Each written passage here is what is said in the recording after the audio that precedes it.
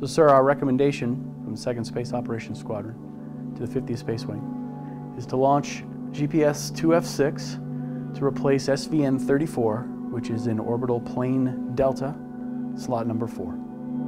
This is uh, the actual front page of the collaboratory. You can see it over here that this is our final collaboratory. There were eight of them total.